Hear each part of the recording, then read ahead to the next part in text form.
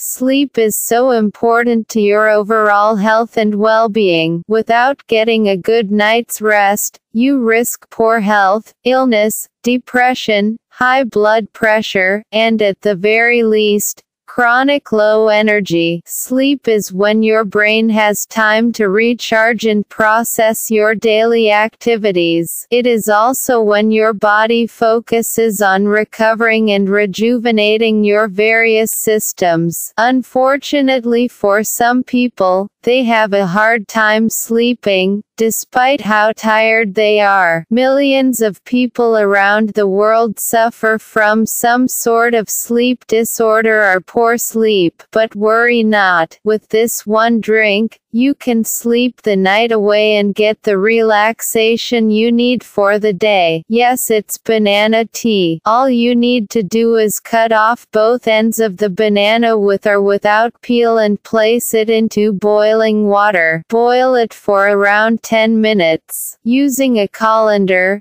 Pour the water into a mug. If you are feeling adventurous, sprinkle the cinnamon into the tea. Drink one cup before going to bed and have a good night's sleep. How to make banana tea. 1. Peel bananas. 2. Drop them into boiling pot of water and leave it to cook for at least 10 minutes. 3. Extract the liquid and put it in a cup. 4. Drink the extract at least one hour before going to bed. Try this every night and see immediate changes in your body.